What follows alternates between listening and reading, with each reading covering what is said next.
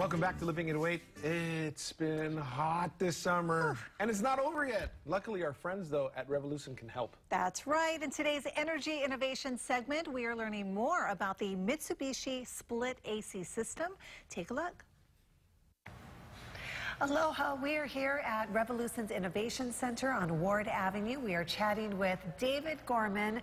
Dave, it is August. It is hot. Hot, hot. I know we keep talking about our newest addition to the smart home lineup, air conditioning. Which is good because everybody People need it. need it Yeah, right that's now. right. Um, but, you know, we're talking about ACs and the different designs possible. So tell us more about that. Yeah, so I think most people are familiar with the setup where you've got this familiar looking Mitsubishi split indoor unit on a wall.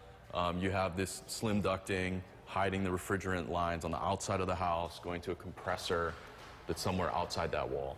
Um, what some people don't know is that you don't need one of these for each one of these. So they make what are called multi-zones, and we can really power up to four or even five of these indoor units off a single outdoor compressor. So take up less space outside. You do want those rooms to kind of be located in close proximity to the outdoor unit. Um, you don't want your refrigerant run to be longer than 65 feet. But like at my house, I have a tri-zone, so I have a single outdoor unit that cools three of my bedrooms off. Okay, that's awesome. I mean, not, th this is actually also very pretty to look at. Yeah, you know, I love how you're covering all of the wires. Yeah. I mean, as a woman, you care about these things.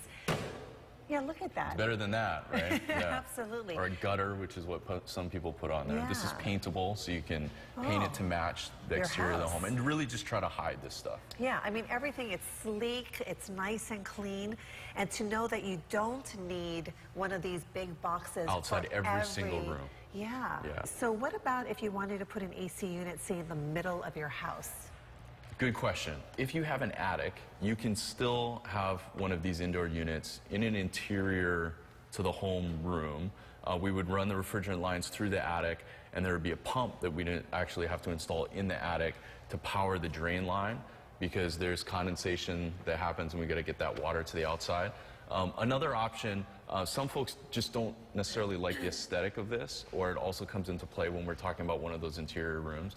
And so again, if you have a drop ceiling with an attic, uh, they make uh, a cassette version, they call it, which the air conditioning head is actually in the ceiling, and it pulls up into the ceiling so you can't really see it. It looks sort of like a central air conditioning uh, grill, but then it comes down when you turn the air conditioner on and cools the room off from the ceiling.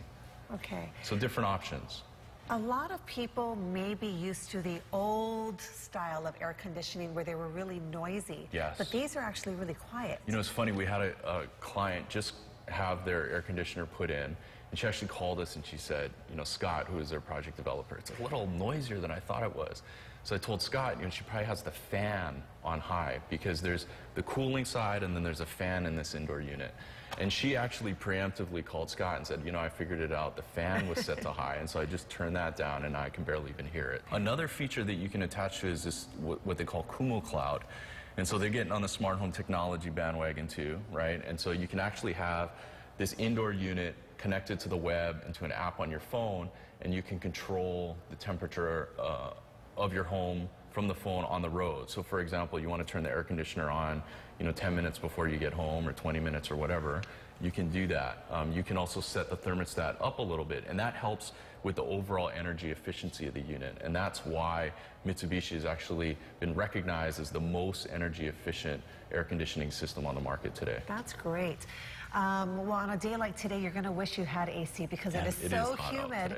Um, but you guys have a special going on right now to the end of the month. We do, yeah. So um, our sizzling summer special. So if you call us and you have your air conditioner installed uh, by the end of August, uh, we'll actually give you up to $500 off your air conditioning system. So give us a call, you know, yesterday because you know we're super busy. So get on the schedule as soon as possible and take advantage of this special that we're offering as well. Great. David, thank you so much. Thank you, Trini. 500 bucks off? Yes, by the, only by the end of the month. That's just a couple of weeks away. That's awesome. Do it today, folks. All right, coming up on Living 808, McKenna Maduli is live in